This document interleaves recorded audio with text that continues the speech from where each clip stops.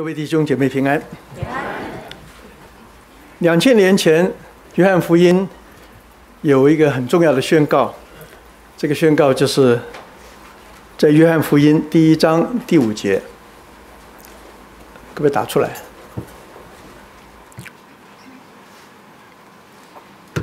那我们一起读这段经文：光照在黑暗里，黑暗却不接受光，那光是真光。照亮一切生在世上的人。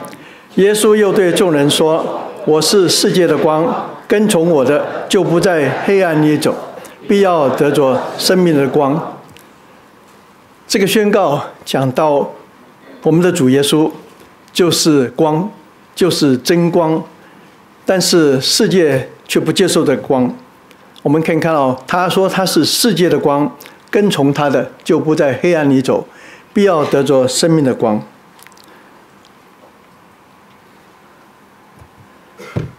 我们这个礼拜很精彩，谁赢了谁输了。我们有的人开心鼓掌，有的人哭泣，在愤恨、示威、捣乱。我们看到这场的竞选，其实有赢有输。但是真正的赢，是神怎么看？神觉得这是应该的，或者不应该的。从永恒的角度来看，输赢是在乎神。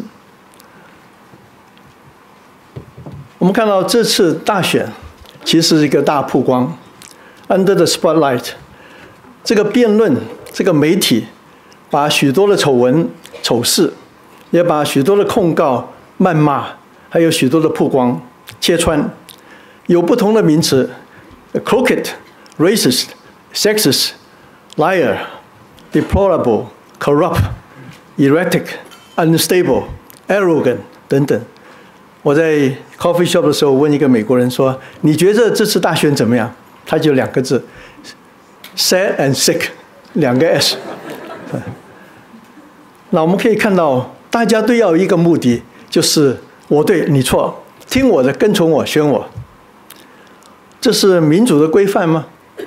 我们这是四年一次的热闹吗？我们可以看到这次竞选带来整个国家的两极化，到底整个竞争的核心是什么呢？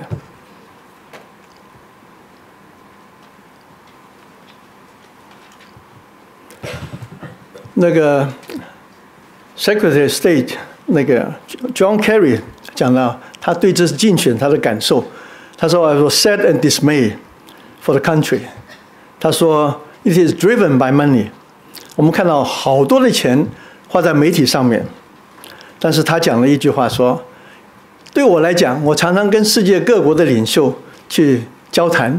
他说：‘嘿，你们试试看民主制度吧。’他说：‘我现在再不知道怎么跟他们讲了。’我们可以看到这一次的选竞选。是 lie under the spot，就是在舞台上被光照的时候，一切的事情暴露出来了。我们看三百九十六年前，一百六十零六个清教徒为了信仰的自由来到美国，他们在十一月十一号，就是前几天，是三百九十六年前，五月花登陆了。这个美国这个地方，他们来到第一件事情就跪下来祷告，感谢神。我们没过多久就是感恩节了，这也是感恩节的由来。他们在这个 Massachusetts 的 Cape Cod 那边登陆。我们可以看到，早期这个国家是受到基督徒很重要的影响。美国最好一个学校哈佛大学。他的校训是什么说呢？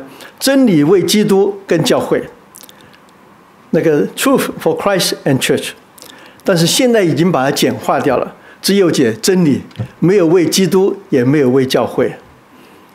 当罗顺也讲了一件事，就是说我们大家不再叫 Merry Christmas，乃叫 Merry Happy Holidays。我们可以看到，这是基督教的精神核心思想。价值观念已经被淡化了。我们可以看到，从一九六二年，美国最高法院通过禁止公立学校祷告，判断在公立学校祷告是违反宪法。一九六三年，美国最高法院通过禁止在公立学校研读圣经。一九七三年，最高法院通过堕胎合法化。一九二零一五年，美国最高法院裁定同性恋合乎宪法。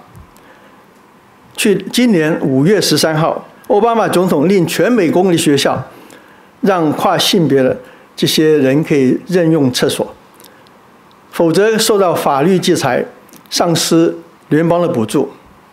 当一个总统管理到厕所的话，这国家可能。大有问题。我们二零零七年到现在，大概基督徒本来从认为美国是基督徒的有百分之七十八，现在已经 drop 到百分之七十。但是我们要知道，七十 percent 也是相当高的一个数字。Billy Graham 的儿子 Franklin Graham，他这在选举前三天，他就要求一件。全国的基督徒 pray and vote。他说：“这个是我们美国国运的分水岭。”他说：“让所有基督徒的声音被听见了。”我们看，这是他说这个选举不是人，乃是他的价值观念。他说：“基督徒很重要，就是让大家知道，大法官是影响美国的国运，可能往后五十年影响到。” Supreme Court 所有的决定，那最重要，我们选举是整个核心的价值观念。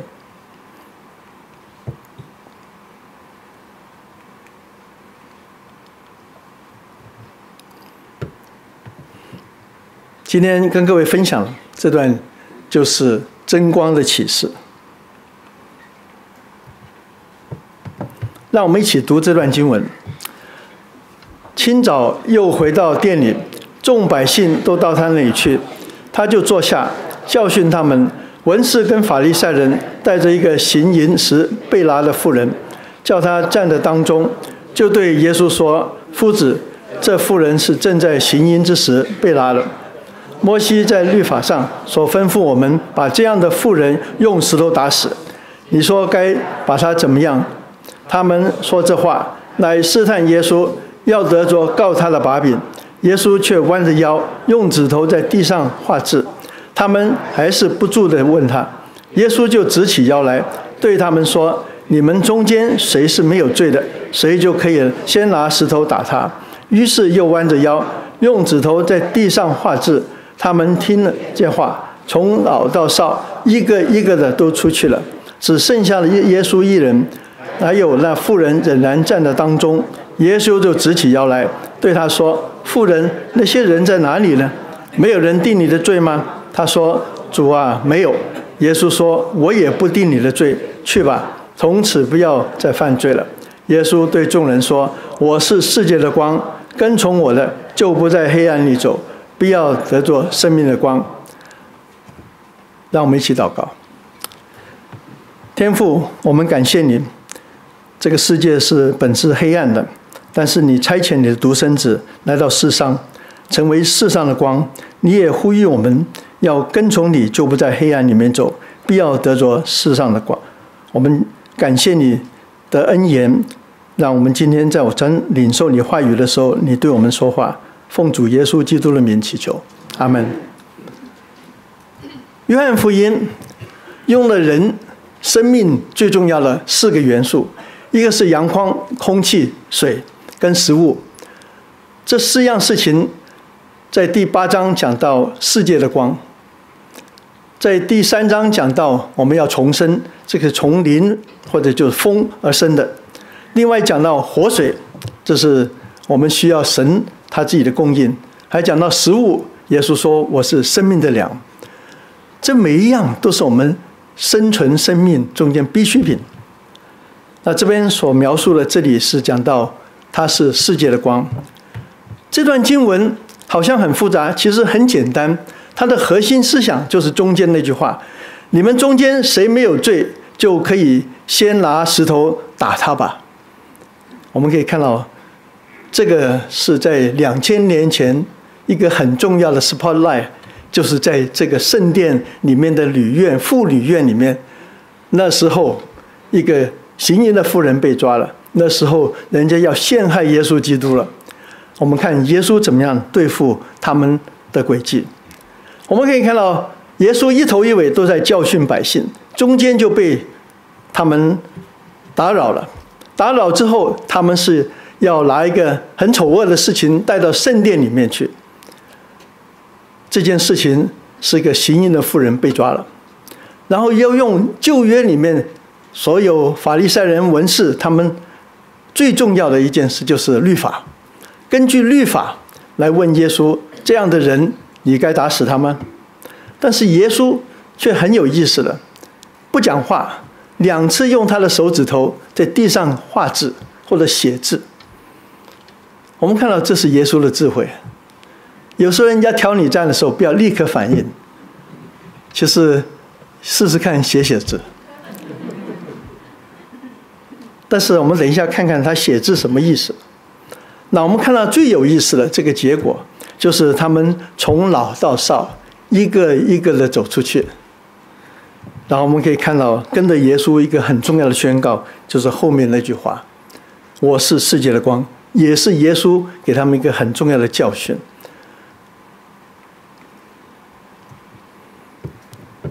这边第二节开始讲，清晨又回到店里面，众百姓都到那里去，他就坐下来教训他们。圣经告诉我们，他是在圣殿里面的内院，内院里面的妇女院，在靠近银库，或者那个银库是什么呢？是在妇女院有十三个奉献箱，他就在这个奉献箱那边。那我们可以正在讲道理，这个圣殿是一个敬拜神的地方。但是没想到文士跟法利赛人就把一个最丑陋的事情带到圣殿去陷害耶稣，他们内心深处其实更加的丑陋，就是要害耶稣。我们看到这边清晨，清晨是什么？黎明的时候，刚刚太阳一亮。我们知道这个时候刚好在第七章讲完，就是祝棚节已经结束了。在主耶稣在祝棚节最后一天站起来大声的说：“啊！”凡口渴的，就到我那边来，啊，信我的人要从他腹中流出活水的江河。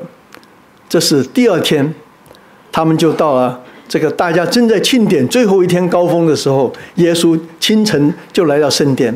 我们有看到一群的人也很向往听耶稣讲道，他们清晨天一亮的时候就到圣殿里面。我们可以看到这世界上不同的人。这个淫妇是在清晨被抓了，她在清晨就犯了不该犯的罪。文士跟法利赛人，他们清晨没有好好祷告读经，也没有 Q T，他们就是看抓有谁犯奸淫，那或者人家告诉他了，他就把这件事情带到圣殿里面去。我们可以看当时的属灵领袖何等的困可怜，众百姓。很多人清晨就来听耶稣讲道，耶稣就在那边讲道。我们看到清晨，一日之计在于清，在于晨。我们知道韩国，他们早上四点半，他的公共汽车就开始了。为什么呢？因为很多人要五点钟去教会祷告。我们看那个信仰影响这个社会。我们有首诗歌，就是早就。中国早晨的五点钟，很好听的一首诗歌。我们看到中国很多基督徒五点钟就起来祷告了。那时候我们可以看到，早晨是最好的灵修的时候。但是我们可以看到文士跟法利赛人是不一样，他们做了一些陷害耶稣的事情。第三节说，文士跟法利赛人带了一个行淫妇人，被拿的妇人来到，叫他站在当中。这个被抓的人很不幸，因为可能犯淫乱的人不止他一个，只是他不幸被抓，或者被陷害，或者被铺路。他其实很羞愧，可能衣冠不整，被带到圣殿里面去。我们想想看，若是我们是被抓的淫妇，那么多人众目睽睽之下，我们那时候衣冠不整，多么难过！这是心中想，死定了。那文士跟法利赛人，他们明知道律法，为什么他们不执行律法？啊，有可能说他们不可以，因为他们没有这个权利。那耶稣他们就对耶稣说：“夫子，这妇人正在行淫的时候被拿。”我们看到他们在这个地方就是旅院，是祝棚节之后。刚刚我们讲到，在这个敬拜神、听神话语的地方，甚至奉献的地方，他们去用一个很丑陋的事情带到圣殿去了。耶稣就对呃，他们就说这个人被抓了。然后我们再看一下。第五节，他说：“摩西律法上面吩咐我们把这样的妇人用石头打死，你说该怎么样办？”那我们可以看到，初犯在那个时候，其实他们想要陷害耶稣，一个是说耶稣说好，你们就用石头打死，但是我们知道犹太人是不能够处死刑的。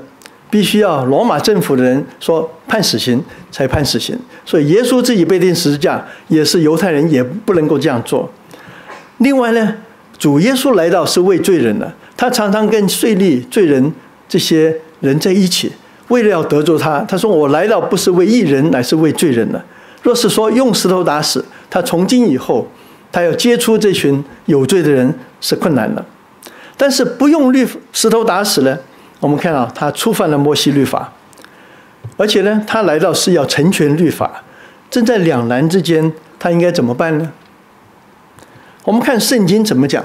圣经对淫乱的事情，第一个是有夫之妇，两个都要处死刑，在立位记跟生命记里面讲。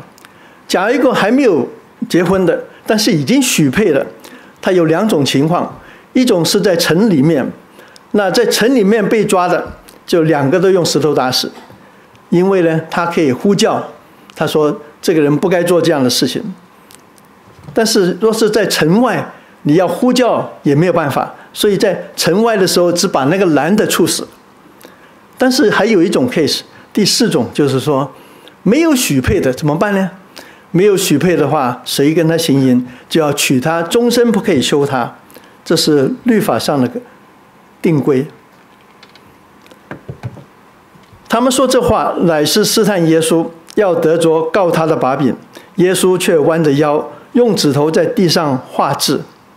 我们看到这个“试探”这个字，就是 probing，试一试。我们小孩子成长的时候，小孩子很会试探父母的，看看父亲严呢，还是母亲严呢？用不同的方法来试探，看看到底这个准则在哪里。试探就是看看 probing 的意思，引诱的意思。引诱他，使到他犯罪，使到他跌倒。耶稣却弯着腰，不看他们，不责备他们。我们看到用指头在地上写字。我们知道那个圣殿那个地不是泥土地，是石头地。我们当石头地呢，我们就可以想到当年。神在西乃山，耶和华用石头写在两块法板上面。我们在出埃及记三十一章十八节说，耶和华在西乃山和摩西说了话，把两块法板交给他，是神用指头写的石板。所以这边给我们看见，这个他写字，可能第一个象征当年这个神耶和华怎么样写律法。象征性的这个律法，其实他说摩西的律法，其实主耶稣这就是我的律法，我写给你们的。所以给我们看到一件事情，也可以想到，当我们遇见一件事情很难解决的时候，我们可以回到第一个，圣经怎么说？圣经怎么说？律法怎么说？这是我们一个原则。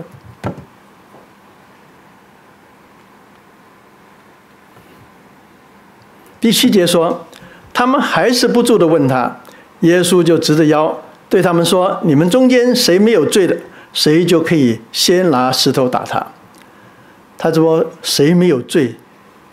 这句话是很容易问，但是却很难答。这就是律法的功用。我们看到这一段，主耶稣讲这句话很轻描淡写的，却像一个真光的照耀。照到他们每个人内心深处了。你们中间谁没有罪的？我们看这个“没有罪”这件这个字只出现一次。这个字呢是哈马提亚是一个罪，但是安哈马提亚就是没有罪。我们看到这个，我们常常想到谁没有罪？只有神没有罪。他只问这句话，又低着头，用指头在地上画字。我们看第二次画字，到底耶稣写什么？很多人都在猜，有人说写罪，有人写控告，但是也有人说要写出你们的亏欠，或者说耶稣的新的律法。这个给我们什么功课呢？第二次，我们应该其实让我们想到，当我们遇到困难的时候，第一件事说。圣经怎么说？第二件事情说耶稣会怎么做？这两个是给我们好好提醒。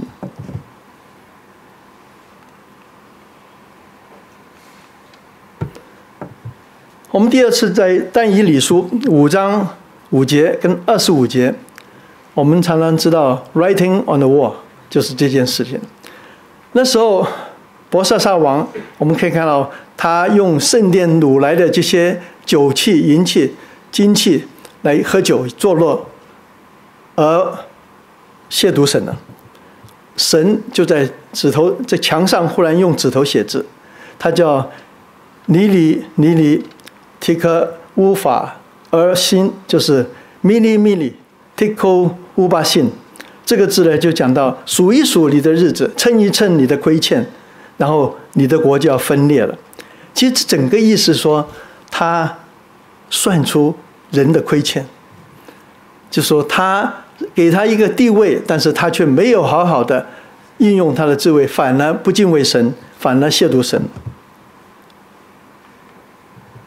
所以我们可以看到这边讲到谁没有罪呢？我们可以看到律法是叫我们被行出来的，但是从主耶稣讲的律法更加的严谨我们一起读这段经文。你们听见有话说不可以奸淫，只是我告诉你们，凡看见妇人就动了淫念，这人已经与他犯奸淫了。我们可以看到，若是照这个标准，我们谁没有罪的？我们每一个人多多少少我都有不好的念头、不好的思想。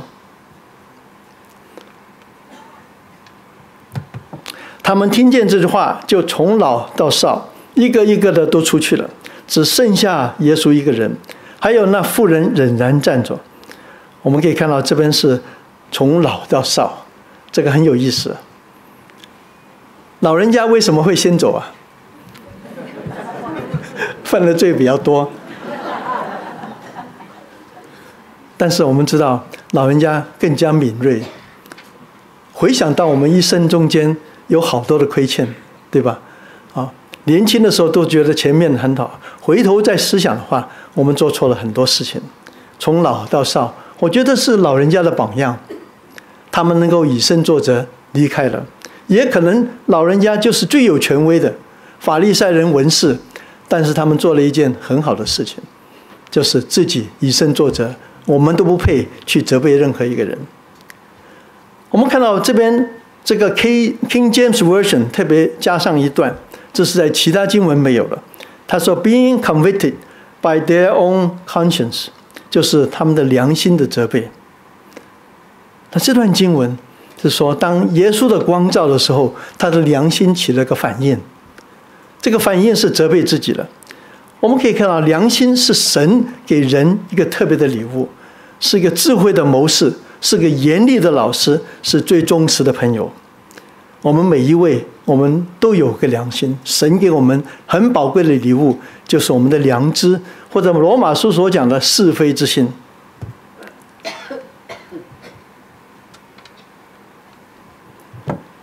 耶稣就即使要来对他说：“富人，那些人在哪里呢？没有人定你的罪吗？”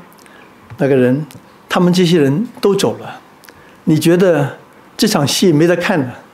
但是我觉得很可惜。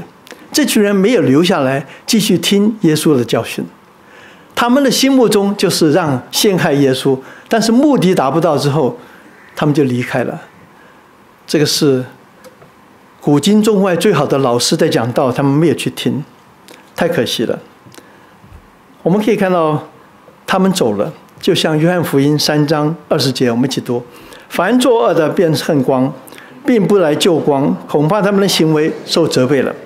但是诗篇讲了一句话说：“主耶和华，你若纠察罪业，谁能担得住呢？但在你有赦罪之恩，要叫人敬畏你。”我们看到这句话刚好用在这里。若是他纠察罪业，我们这一群的人没有一个可以站立得住，很可能牧师长老第一个要离开了。但是感谢神。在他有赦罪之恩，让我们有领受恩典之后敬畏神，知道他是一位圣洁的神。他说：“主啊，没有。”耶稣说：“我也不定你的罪，去吧，从此不要再犯罪了。我也不定你的罪。”我们可以看到这一这个在这一幕里面，一场所谓的舞台或者戏，在圣殿里面的戏，这是罪人控告罪人。法利赛人文士是有罪的，他们要定别人的罪。只有一个人没有罪，就是耶稣基督。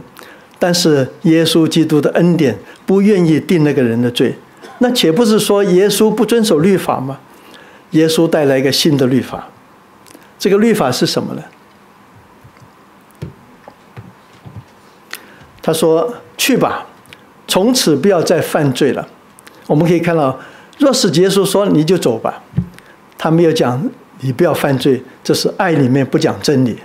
耶稣是讲真理，他说去吧，从此不要犯罪。耶稣是永远给人家机会的。From now on, sin no more，这是一个很重要一句话。跟着下来，我们可以看到这个呃。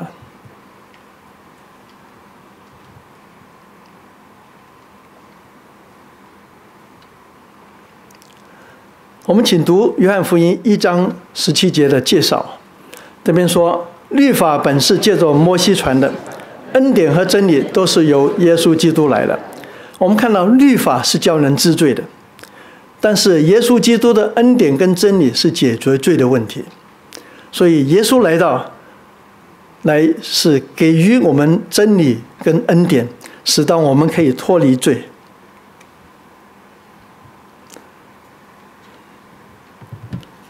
好，我们一起再读这段经文。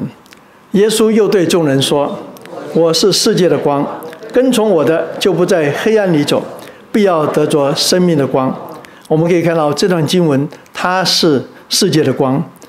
路加福音讲到，它是照亮外邦人的光。以赛亚书说：“日头不再做你的日白昼的光，月亮也不发光照你，耶和华却要做你永远的光。”我们可以看到。神是我们永远的光。这个时候，我们知道站在祝棚节过后，祝棚节那个时候，他们一共连续八天的庆祝。这八天庆祝里面，在女院里面，他们中间摆了四个大的灯，照亮了通明，整个晚上都照亮着。我们可以看到，这个时候正是当灯要熄灭的时候了。他们正在兴高采烈的时候，在黎明的时候来了一个真光。就是耶稣自己。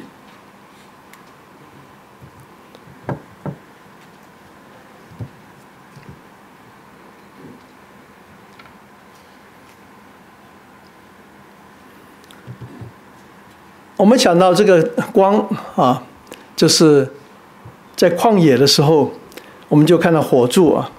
我们在出埃及记的时候，现在正在 Q T 出埃及记，就讲到耶和华从云中柱云火柱中。向埃及的军兵观看，时埃及的兵混乱，啊！然后《生命记》讲到，他在路上，在你们前面行，为你们找安逸的地方；夜间在火柱里面，日间在云柱里面，指示你们所当行的道路。所以我们可以看到，这边讲到他是引领的。这边讲到要跟从我这个字，在那个时候有几个意思，像仆人跟从主人，遵守国家的律法。听从教导都是跟从这个字。我们看跟从主就是顺服他，效效法他，荣耀他。跟从这个字呢，是同时同步的走。我们看看走同一条路，我们常常讲同路人，但是这个脚步相同，继续的跟同。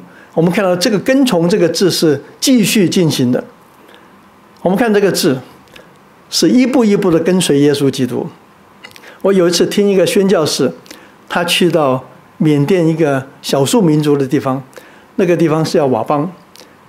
他说他有一个向导带他去，经过穿山越岭到了那个地方。但是他说：“我怎么走，你就要跟着我怎么走；我脚插什么地，你就跟着我插什么地。”他说：“为什么？因为地上很多地雷，你不小心就中地雷了。所以我们可以看跟从，就是他怎么走，我们就怎么走。跟从这个字有一个意思是专心。我们看到这边圣经讲民数记里面讲，约书亚跟加勒两个是专心跟从我。” Follows me wholeheartedly，全心全意的跟从。我们跟从的时候，有时候一半就离开了。我们先 take a break，啊，可能这个 break 一下就三四十年了。但是有的人 break 了几一年、半年或者几个月，专心是 wholeheartedly 跟随。第二个是跟随是有使命的。我们看主在马太福音第四章讲到，耶稣对招的这个门徒。他说：“来跟从我，我要叫你们得人如得鱼一样。”他们就撇下网，就有使命的去跟随。第三，跟随啊是天天跟随，不是主日跟随，不是七天中间一日，乃是七天的七天都跟随耶稣基督。他这边路加福音说：“若有人跟从我，就当舍己，天天背起他的十字架来跟从我。”第四，我们跟从是一个服侍。约翰福音说：“若有人服侍我，就当跟从我。我在哪里，服侍我的人也在哪里。若有人服侍我，我复必尊重他。”我们宣道联会黄牧师给我们一个很宝贵的一个见证。他跟随耶稣到一个没有人去的地方，这个语言也要重新学习，因为耶稣在哪里。他也被呼召到那边去服侍他了，最后跟随是得奖赏了。我们一起读这段经文吧。彼得说：“看呐，我们已经撇下自己所有的跟随你了。”耶稣说：“我实在告诉你们，人为神的国撇下了房屋、和妻子、弟兄、父母、儿女，没有不在今世得百倍，来世不得永生的。最宝贵的不是今世的事。”乃是永生的事情。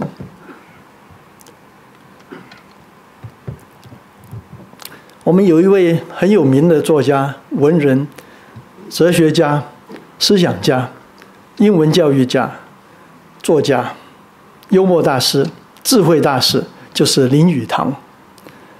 我们可能年纪大一点都知道他。他曾经是圣约翰大学高材生，他曾经。在讲台上一次的典礼，四次被呼上去领奖，这是他们破纪录了，没有一个那么优秀的。但是他毕业之后，他就在呃那个呃大学教书。那教书里面的时候呢，他开始慢慢，他也在教主日学，因为他的父亲是一个牧师，他的妻子也是一个虔诚的基督徒。但是毕业之后，他就开始钻研。中国的哲学，儒家思想、道家思想、佛教的思想，经过三四十年之后，再重新回到基督教。他写了一本书，叫做《信仰之旅》。各位有没有人看过了？若是没有看过的话，这是很值得看的一本书。他是很深入的研究，不管是禅宗或者佛教，或者说这个呃基呃这基督教。还有这个道教，我们看到看到他跟随到一半就没有跟随了。最后他六十五岁再重新回到神的面前，他讲的在这本书上面讲了一句话，他说：“当蜡烛要把蜡烛吹熄了，因为太阳已经起来了。”他说：“耶稣跟其他圣贤相比，就好像太阳与蜡烛一样。”耶稣的世界是阳光下的世界，我们都愿意走进这个世界，沐浴神慈爱威严的大光，驱赶我们心灵中间的蒙昧，再造一个智慧和丰盛的人生。这大光现今仍然在世世代代的照耀着，没有暗毁。他说：“上帝的真理之光是灵性纯洁的，有人的教训中间没有人可以比喻的，就像耶稣怎么样宽恕别人，他的生活的示范。我接纳他为主，跟我们众人的救主。只有耶稣，没有别人能够带领我们直接认识上帝。这本书很值得去看，很宝贵。”因为他望走了四十年，最后他终于回到真光那边去了。我觉得李宇堂先生或者博士，他若是没有离开，他可以为主做很多的工作。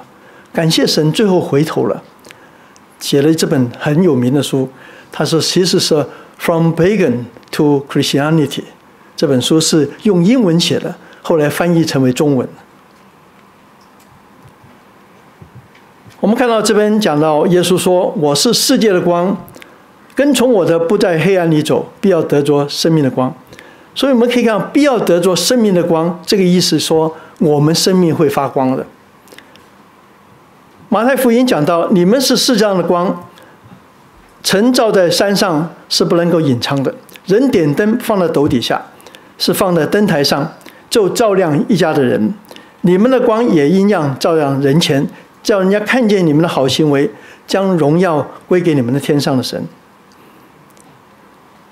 这是主耶稣说，我们这些人应该会发光。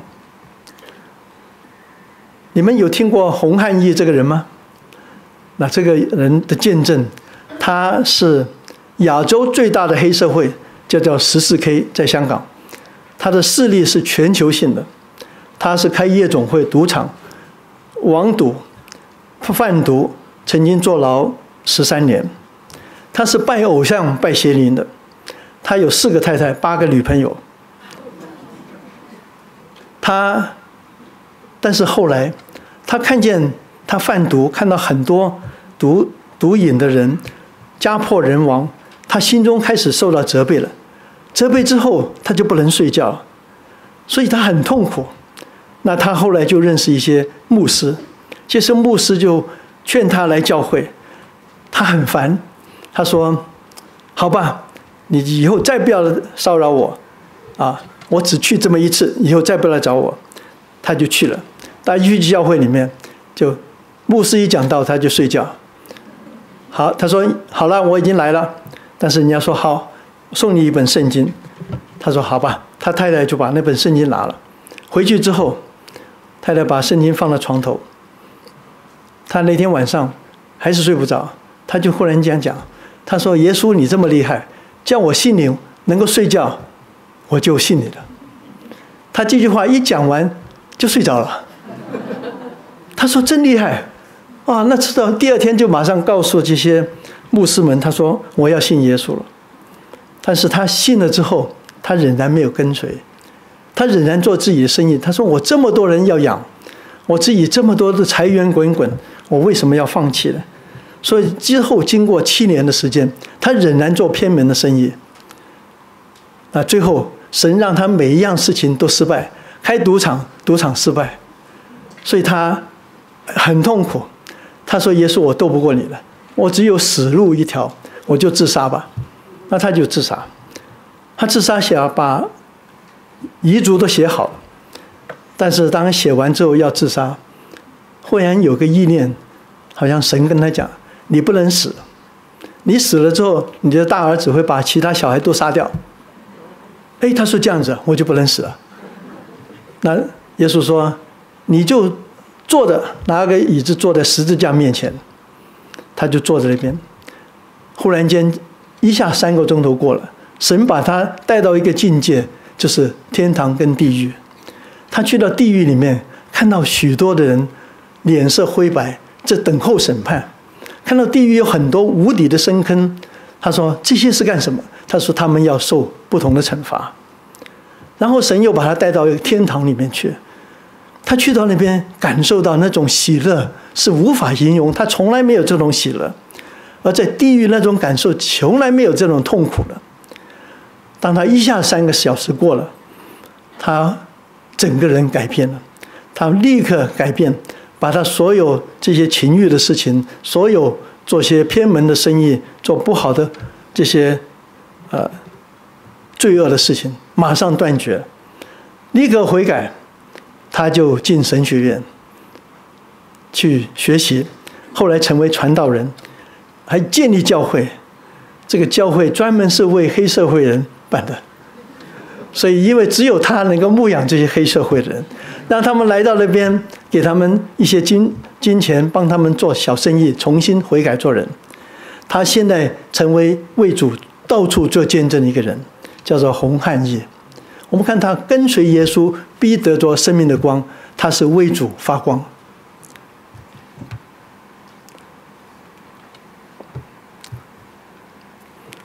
约翰福音讲了七个我是，这边我是世界的光是第二个我是。我们可以看到跟第六个我是，我是道路、真理、生命，这个是相对的，两个都讲到道路。但是世上的光是讲到我们在世界上的道路。我是道路、真理、生命，是在通道、通天之路。这两个所讲的我是是彼此的呼应的。感谢神给我们这样的恩典。我们这个整段经文结论是什么呢？结论可以说：首先我们要被光照，光照之后知道我们的亏欠，才会跟随耶稣基督。耶稣给我们讲到一个脱离罪的方法，就是要跟随耶稣基督，不是得赦免了。赦免之后不悔改，不跟随耶稣基督，我们不能够解决罪的问题。而且跟着就要行走在光中，行走就跟随耶稣基督，一步一步的走，不要踩上地雷了。最后我们生命要发光，所以我们要 enlightened，还有 following，还有 walking，还有 shining。这就是这段经文给我们一个结论。